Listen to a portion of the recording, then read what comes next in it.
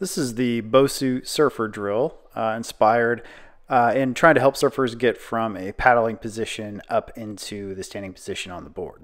So it's an explosive move, kind of like uh, a burpee, uh, but on a unstable surface. So just going to have your abdomen resting on the Bosu ball, uh, somewhere around your navel in the middle of the Bosu, hands on the outsides, and we're just going to explosively press up, kick the feet underneath, and then stabilize. You want to rotate the hips as much as you can if you're trying to mimic actually getting onto the board in a standing position.